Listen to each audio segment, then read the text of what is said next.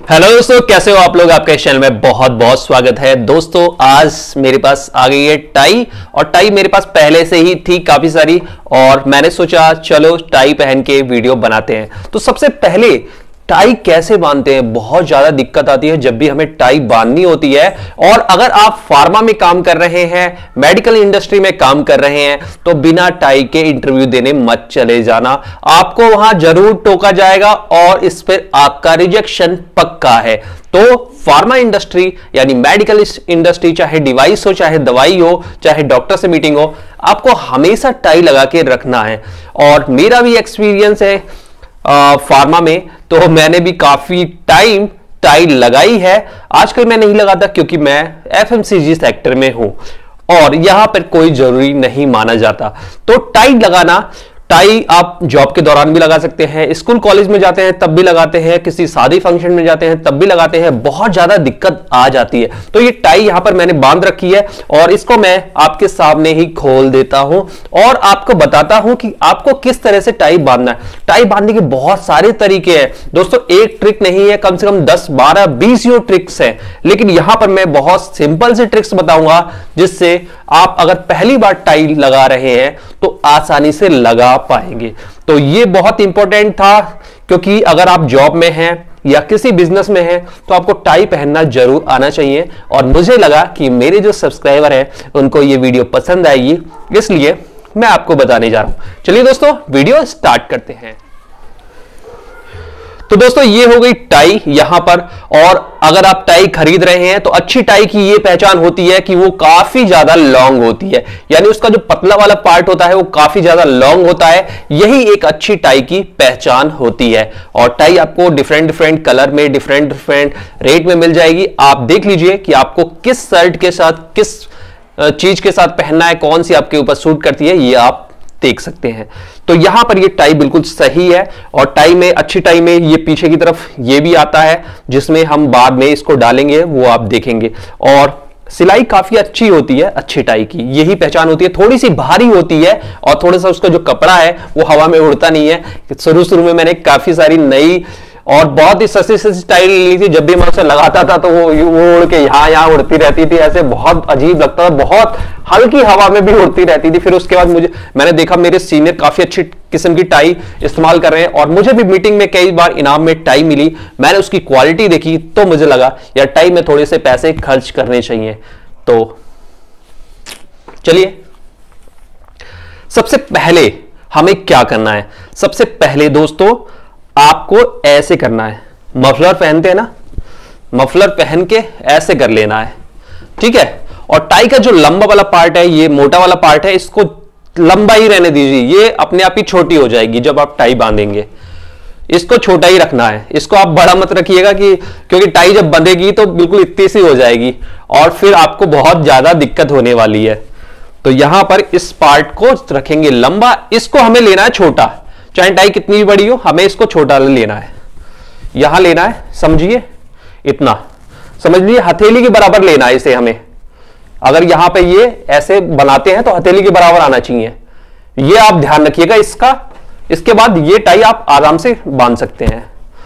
तो इसको ये करना है, सबसे पहले। ये देखिए, ये बड़ा वाला जो पार्ट है ना, ये हमेशा ऊपर रहेगा। और ये छोटा वाला पार्ट है, वो हमेशा नीचे रहेगा। और टाई ये जो है, ये बिल्कुल सही से रखिए कि अगर आप इसे पहने तो आसानी से पहन पाए। तो यहाँ पर थोड़ा सा मैं पास में आ जाता हूँ और आपको और ज़्यादा पास से दिखाने की कोशिश करूँगा।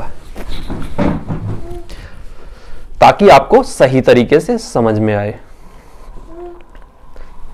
तो दोस्तों, इसको हमेशा नीचे रखेंगे, पतले वाले को, ये मोटे वाले को हमेशा ऊपर आएगा। और इधर जो बचना चाहिए, बहुत हथेली के बराबर बच जाए, बहुत है। इससे ज़्यादा मत बचाना, बहुत ज़्यादा दिक्कत होगी बाद में, टाई जब बन जाएगी तो। अब इसको क्या करना है?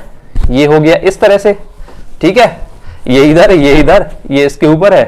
अब आपको क्या करना है?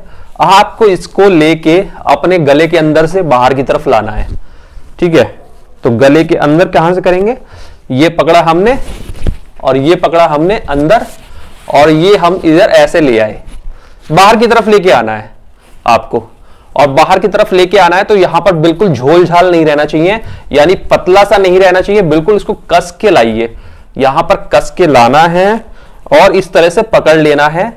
यहाँ पर बिल्कुल भी हल्का नहीं रहना चाहिए झोल झाल नहीं रहना चाहिए, ठीक है? तो ये हो गया। तो ये हम अंदर से लेके आए थे, इस साइड से अंदर की तरफ़ से लेके आए थे। अब हमें इस साइड से अंदर की तरफ़ लेके आना है। अब हमें इसे इधर ले आना है, नीचे की तरफ़ से ही। ऐसे पकड़ लेना है। और इधर इसको इसको ऐसे ले आना है।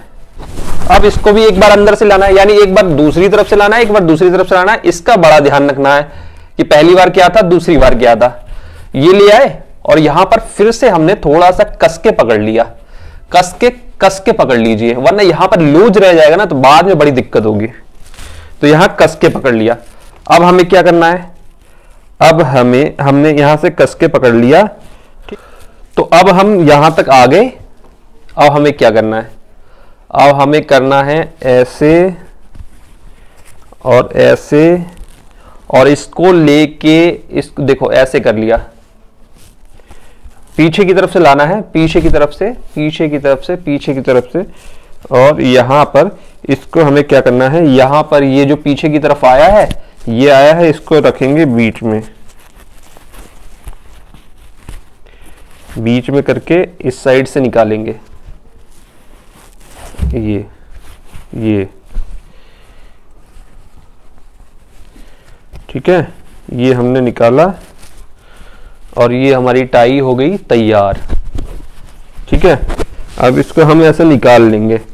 ये हमने टाई बाँध ली पहली बार में। मैंने बताया, बहुत सारे तरीके हैं। सबसे आसान तरीका आपको बता रहा हूँ। तो यहाँ पे बहुत सारे तरीके हैं। ये हो गई टाई, हमारी रेडी। अब देखिए, ये सबसे आसान तरीका, सबसे आसान तरीका। बिल्कुल कंफ्यूज नहीं होंगे। टाई को बांधेंगे और एक बार निकाल के फिर सीधी तरफ़ से ले लेंगे। ये एक तरीका है। अगर आपको ये वीडियो अच्छी लगेगी और आप कमेंट करेंगे तो मैं और भी तरीके बताऊँगा।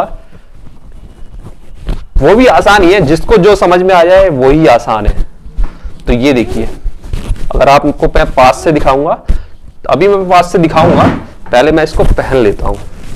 तो दोस्तों कॉलर करी ऊपर कॉलर करी ऊपर, और यहाँ पर इसको हमने, जब भी हम टाई को खींचेंगे पीछे की तरफ़ से तो यहाँ नॉट का ज़्यादा ध्यान रखेंगे ज़्यादा।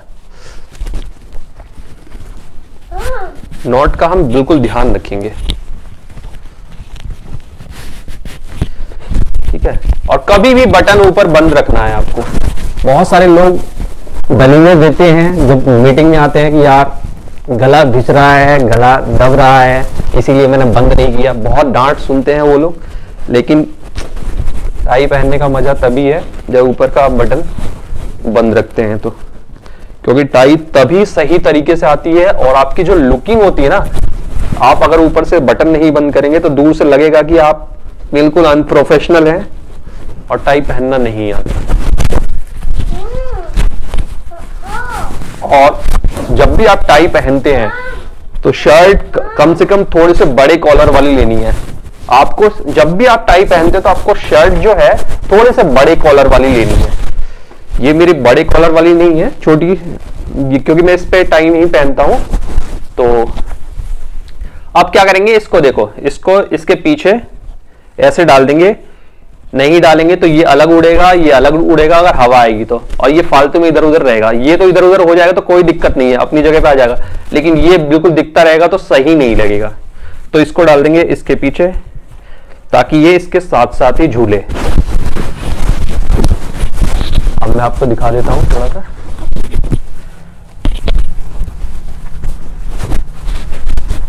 तो ये सबसे आसान तरीका था टाई का।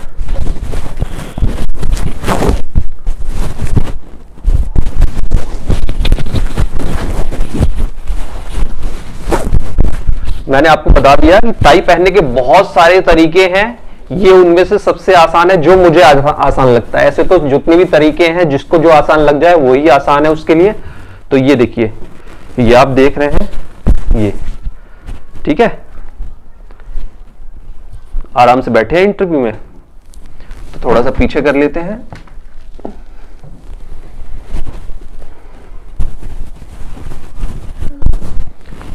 और बहुत सारे लोगों को टाई जो है गर्दन में भिजती है, वो इसलिए है कि उन्होंने पहले कभी टाई पहनी नहीं है और उनकी जो शर्ट है वो टाई लायक शर्ट नहीं है।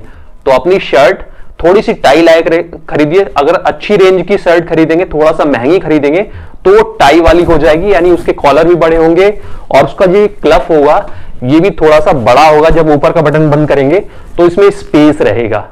आपके टाई की दिक्कत नहीं है। आप नॉर्मल जो शर्टें आती हैं, वो टाई के मतलब की नहीं होती हैं। ये आप बिल्कुल ध्यान रखिएगा, क्योंकि मैं अपने एक्सपीरियंस से बता रहा हूँ।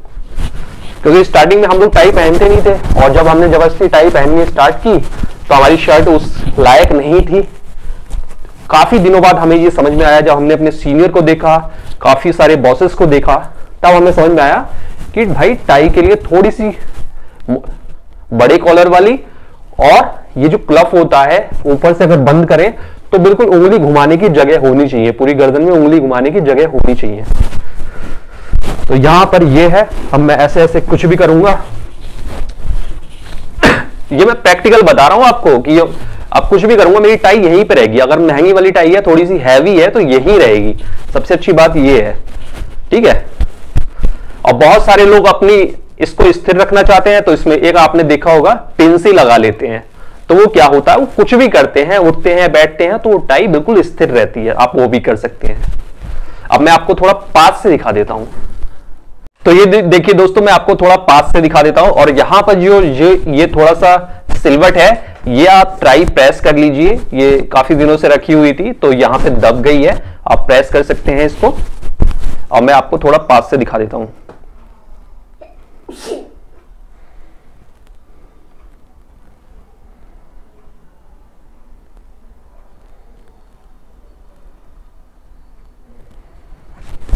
इस तरह की नोट बन जाएगी ये। और टाई जब आपको निकालना है तो आप जिधर से आपने इसे ये पकड़िए और ये निकल गई आपकी टाई। अगर आपको बार बार नहीं बांधनी है तो कई सारी टाई ऐसे ही लोग क्या करते हैं, बाँध के रख देते हैं, और ऐसे धीरे से डालते हैं और पहन लेते हैं। ये सबसे आसान तरीका है। बार बार टाई बांधने की ज़रूरत नहीं पड़ती। तो आप इसको ऐसे ही रख सकते हैं। ठीक है? इस तरह से। जब धोना हो तो धो लीजिए और फिर टाई इतनी ज़्यादा धुलती भी नहीं है। अब मैं थोड़ा पास से दिखा देता हूँ। ये पीछे का हिस्सा है। ये देखिए ये पीछे का हिस्सा है और ये है आगे का हिस्सा। ये देखिए ये आगे का हिस्सा है। इस तरह से। तो उम्मीद है आपको ये वीडियो पसंद आया होगा। वीडियो पसंद आया है तो लाइक करिए शेयर करिए और सब्सक्राइब करिए चैनल को।